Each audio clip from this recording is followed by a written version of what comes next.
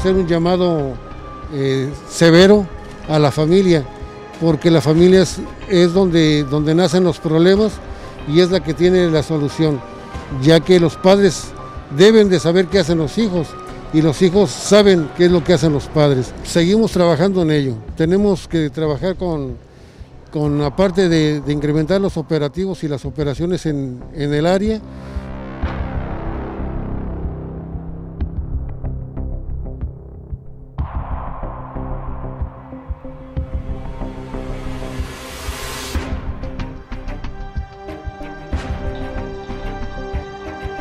que son intereses los que nos mueven a ellos y los intereses son la drogadicción, desafortunadamente.